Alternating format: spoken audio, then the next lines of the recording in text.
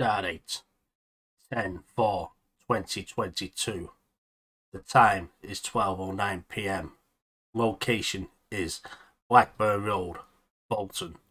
After doing our Sunday afternoon shop, we proceeded on our journey. Words are exchanged between yellow jacketed biker and the Range Rover. They both proceed to drive off.